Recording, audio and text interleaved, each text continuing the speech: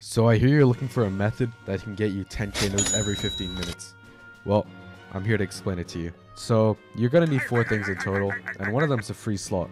Now this free slot should preferably have strength as its innate attribute because it gives free carry load, but it doesn't really matter. Now the second thing you need is an Ankotarium in your guild base or the Void Eye because you're gonna need to be able to sell everything quickly. And if you don't have a Void Eye and you need to get Ankotarium in your guild base, an easy method is to just join the divers.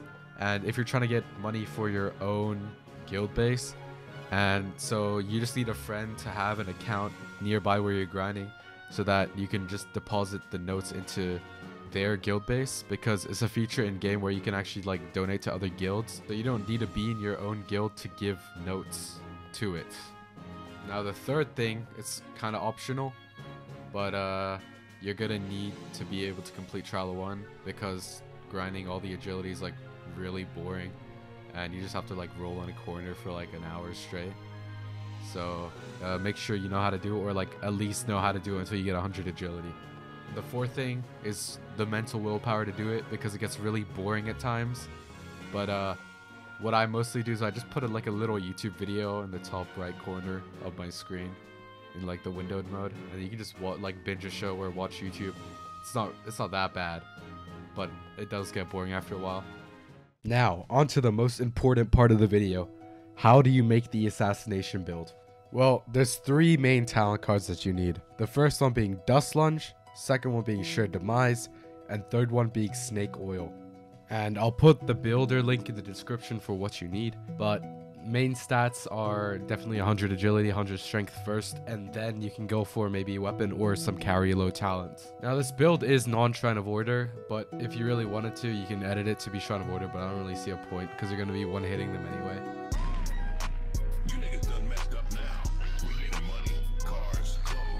Alright, now it's finally time to explain the method to get 10k notes every 15 minutes. Now, the place where we're gonna be grinding is the Crypt of the Unbroken. Now, there's many reasons for this. They include how you can't get hunted there, the insane loot you get, and how quickly you can kill everything, as well as having the chance to get a Justicar or a Gran Sudaruska along the way.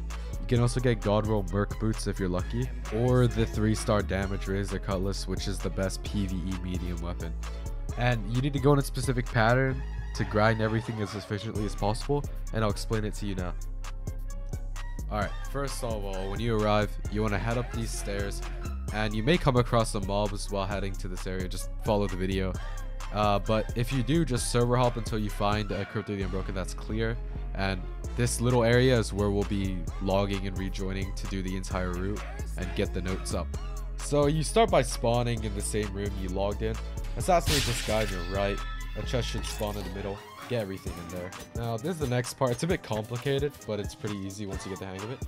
So make sure to get aggro of this guard and quickly run over to the other guard and assassinate him. So this makes it so that the guard that was aggroed onto you gets into range of the shared demise so both of the guards die when you assassinate one. And again, get all the loot now, after looting that chest, run over here, turn right, and get the aggro of the guard in the back, and just assassinate both of them. This one's really easy compared to the other one. Just get everything again.